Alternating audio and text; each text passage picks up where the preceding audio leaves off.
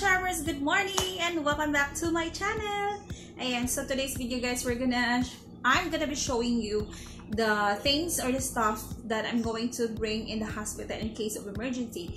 So, wala tayong video na iba, kaya quarantine tayo ngayon. So, I just go ahead and do this one kahit kulang pa siya dahil hindi ako makalabas. So, I just uh, show you quick sa mga uh, dadalhin natin sa hospital. So, what are you waiting for? Let's get started!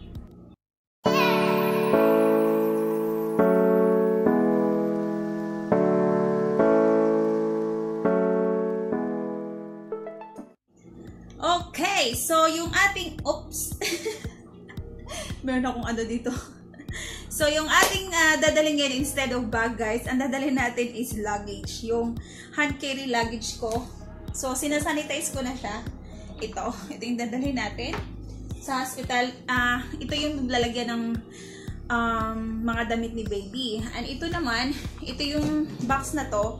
Ito yung dadalhin natin or paglalagyan uh, for yung mga gamit ni baby, yung pangligo, yun, mga diaper, something like that. So, let's get started. So, yung una nating dadalhin, so dito natin siya ilalagay sa box, okay? Yung mga mga panligo ni baby. So, panligo or some other stuff. Okay. So, by the way, disclaimer, all of this product is not sponsored. And, um, yeah, papakita ko lang sa inyo yung brand na gusto ko.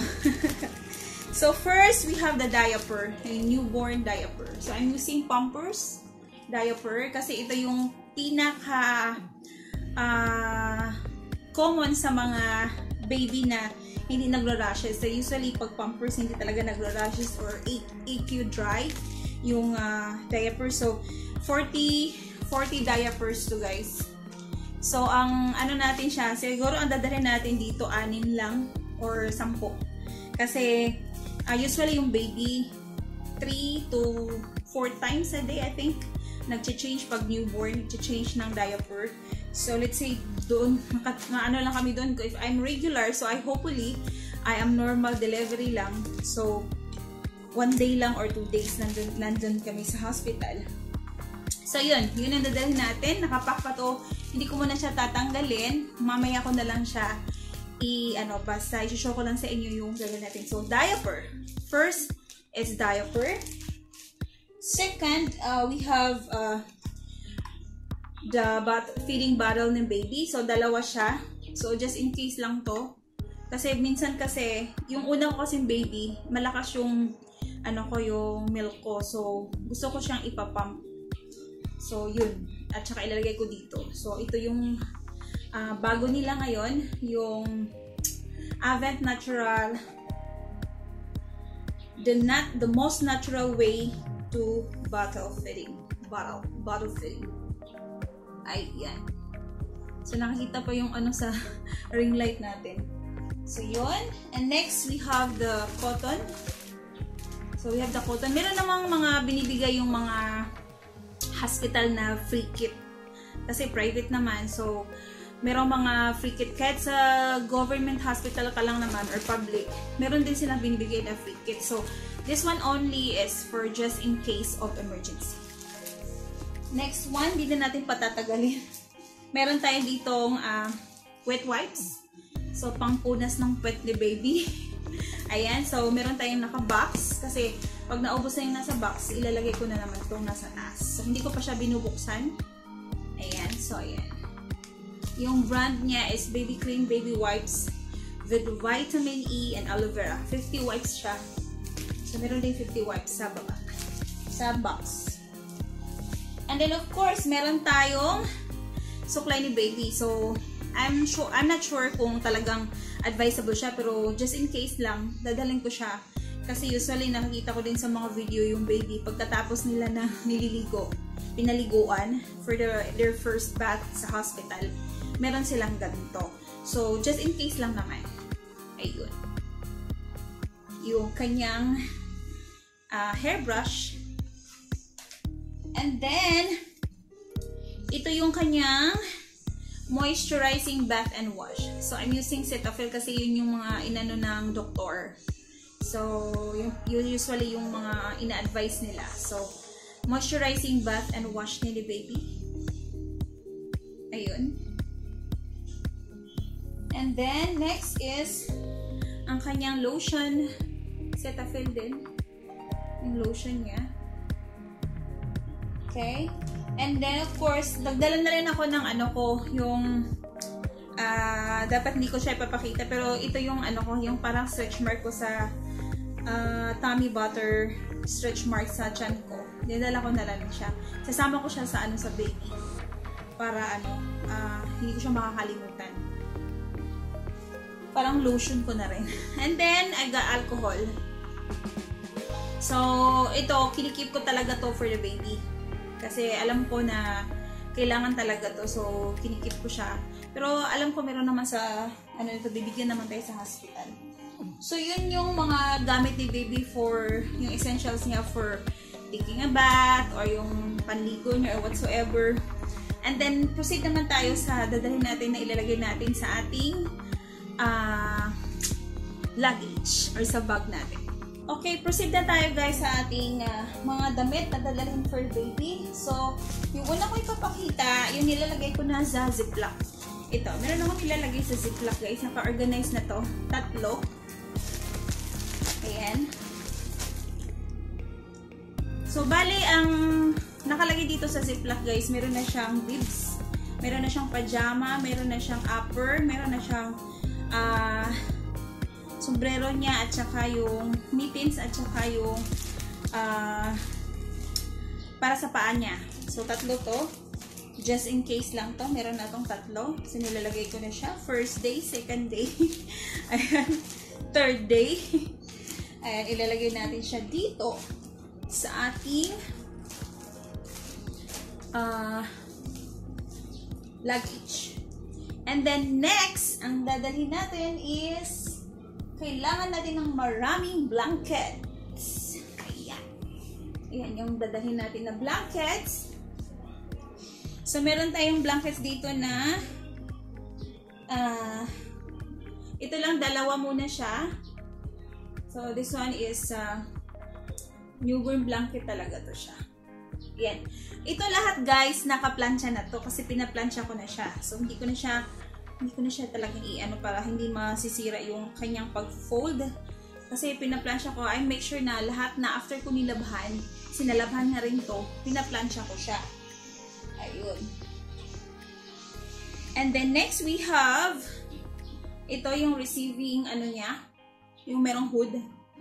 Receiving uh, towel niya. O oh, blanket. Receiving blanket, sorry. This is her receiving blanket. Dalawa yung receiving blanket niya, guys. And this one and this one. And then, receiving towel niya, ito isa. Yellow din siya, may hood din siya. Ito towel to. Iba yung, iba yung difference niya, merong ano sa saba. Ito yung side niya. So, receiving towel. then, meron tayong knitted uh, blanket also. Ito yung malaki to siya, guys. Dalawa. Ayan. Yun yung para kay baby for pagka nilalamig siya, ito yung iano ko sa kanya. So, kailangan pa natin ng swaddle, guys. Gusto ko merong swaddle. Wala pa akong swaddle. Pwede, pwede naman siyang gawing swaddle. Yeah, pwede naman siya. And then, meron tayo dito uh, tatlong uh, pang-birth uh, towel niya. Ayan, tatlo. Maninipis to, guys tatlo yung dadalhin natin. Pero meron pa naman ako doon kung just in case kung gusto ko pang magdala, I can uh, bring more. Okay, and then, itong iba dito, yun yung clothes niya na dadalhin natin. So, aside from, asan yung isang, aside from yung tatlo net natin na merong isang, uh, mayroong, eh, yung set na yun, nagdala din ako ng extra na socks sa kanya. So, ayan, dalawa two pairs ng extra socks niya. Ayan. And then, yung one set na ano din ng damit niya. Ang cute, ba diba? Nakaplansya na to, guys. Ayan. And then, ito yung damit na gusto ko ipasuot sa kanya pag uwi na kasi pag umuwi na kami galing hospital, meron na siyang automatic na socks. Gloves na lang ang ilalagay ko at yung, ano niya, yung sombrero. And then, I also have here, this one, so pajama, gloves, at ano na lang yung onesies. Ito yung mga in case, in case, in case, yung nasa case, ah, nasa, nasa plastic kasi, nasa ziplock, yun yung ipasot ko sa kanya pag natulog na siya sa gabi. Ayan. Para hindi siya labigin. Tsaka ito, nakaplansya. Ayan. Diba? Cutie.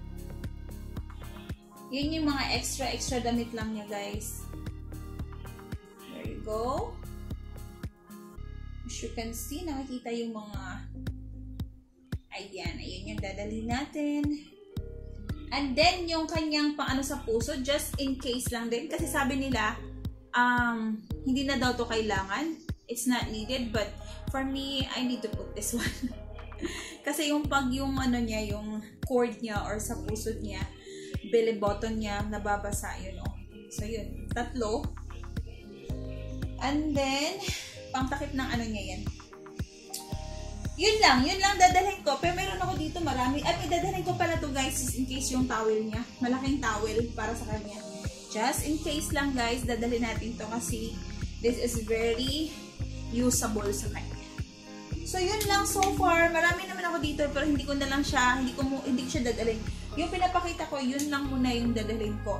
So yung things naman na kulang ko, yung kailangan ko ng baby powder, baby oil, betadine, uh, cotton buds for the baby, at saka yung breast, breast pump ko.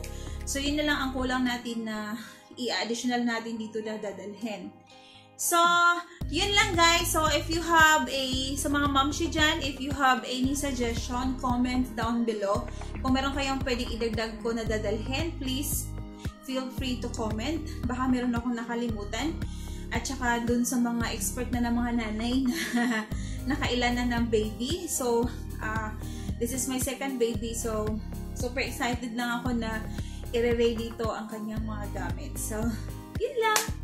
At sana natuwa kayo sa aking show ngayon. Hopefully guys, you like this video and give us a thumbs up. Don't forget to share and like and comment down below. Don't forget to subscribe sa mga baguhan dyan. And welcome din sa mga bago nating uh, subscriber at sa mga luma na natin subscribers. Salamat sa walang sawang panunood. Thank you so much for always following me, supporting me and my channel. It is a very, very, very good help. Nakakatulong siya. And then, before I end this vlog, I want to say uh, shout out to everyone. Um, Judea's Life, a Rena Madsen vlog, at saka ni Aruel Andres vlog, at saka kay, uh, sino pa ba yung palagi nanonood sa akin? Elio Channel, um, Ed Young Vlog, OFW2, ayun, saka si, si Vismet and Vegas. Hello! Hello, Sisi! Thank you so much for everyone. Jenny and Dalton Channel. Ayan, Linsburn. Thank you, thank you so much. And sa sunod na lang yung iba yung shoutout. And that's all. Bye everyone. Have a great day. God bless you all. Bye.